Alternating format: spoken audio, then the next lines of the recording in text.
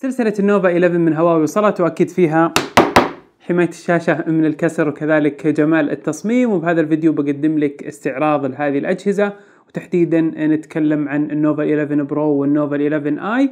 خلنا نتعرف عليها أكثر وعلى مواصفاتها في هذا الفيديو. عليكم ورحمة الله وبركاته. هلا والله ومسهلا وحياكم مرة بفيديو جديد معي أنا عبد الله الغفيص واليوم آه، فيديو مراجعة واستعراض لسلسلة ال nova ال 11 آه، من هواوي وتحديدا أحدث الأجهزة ال Pro وكذلك ال i. وفي عندنا طبعا ال nova ال 11 آه، سلسلة ال nova قدمت المواصفات والمزايا الجيدة والمناسبة لهذه الفئة. نتكلم عن فئة الهواتف المتوسطة. لكن عندك ال Pro بيعطيك المواصفات الأعلى آه، وكذلك طبعا السعر مقارنة آه، باقي الهواتف أكيد بيكون إنه مرتفع عن النسخ الأخرى. لكن قبل تكمل الفيديو أتمنى منك تشترك بالقناة لو كنت غير مشترك وتفعل جرس التنبيهات. وبسم الله نبدأ. بداية لما نتكلم عن ال nova 11 Pro أول شيء وقبل أي حاجة ثانية آه، بيلفت انتباهك موضوع التصميم. فهنا عندك الجلد النباتي من الخلف واللي عليه ال pattern أو النقش بشعار ال nova بشكل جميل جدا. ولأول مرة يتم النقش على الجلد النباتي وبيعطيك الملمس الرائع الفخم ومع هذا اللون الأخضر برضو فيه اللون الأسود واللي فخم أيضا جدا مع الإطارات الذهبية. كذلك عندك له تصميم الكاميرا مع الإطار اللي جاي بالنص وهو تصميم ال Super Star Orbit Ring ونفس الفلسفة اللي شفناها بتصميم آه، الهواتف الأخيرة من هواوي مثلا نتكلم آه، عن هواتف الفئة العليا. تقريبا هنا عندك هاتف بتصميم جميل ورائد.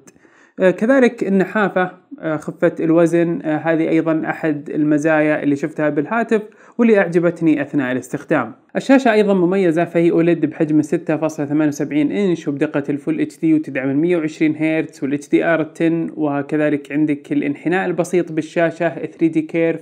بيعطيها شكل جمالي ومو ملاحظ بشكل كبير أو مزعج أثناء الاستخدام. وعليها طبقة حماية ال Kunlun Glass فالجهاز مقاوم للكسر. وما تشيل هم السقوط أو الضربات. الكاميرا أيضا ممتازة عندك ال 50 ميجا بكسل للخلفية مع ليزر لل focus وهنا فعلا آه، سرعة التقاط ال focus آه، جميلة وملاحظة. وكذلك الأمامية مزدوجة بدقة 60 ميجا بكسل أيضا أعجبني هنا التركيز وكيف يعرف عينك مباشرة ويكون التركيز آه، عليك فتطلع بنتائج واضحة. كذلك دعم أحدث التقنيات في تحديد الجسم والوجه والعزل وهذه كلها بتقدم لك كاميرا يعتمد عليها ونتائج جميلة وهذه بعض النتائج اللي التقطتها بكاميرا الهاتف. أما من ناحية الأداء فالهاتف يجي معالج ب Snapdragon 778G 4G مع RAM 8 جيجا وتخزين 256 جيجا بايت وشريحتين اتصال ال 4G ويدعم ال NFC تقدر تدفع من الجوال. أيضا عندك سماعات صوت stereo speaker وحساس البصمة الموجود داخل الشاشة. وهو سريع بالتجربة. وأضافت هواوي هنا محرك خاص للألعاب اسمه ال nova ال game engine هذا فكرته أنه يشمل مجموعة من التقنيات مثل ال GPU Turbo وال Touch Turbo وكذلك تعتمد على الذكاء الاصطناعي. فبتساعدك بشكل أفضل بتجربة الألعاب على الهاتف. كذلك عندك تقنية جديدة تم إضافتها لالتقاط الإشارة وهي ال super signal experience هذه فكرتها بتعطيك التقاط إشارة بشكل أفضل. وعندك أربع مقويات أو أنتينا على أطراف الجهاز وحتى بالواي فاي أو المكالمات بتكون أفضل من ناحية التقاط الإشارة. الإشارة.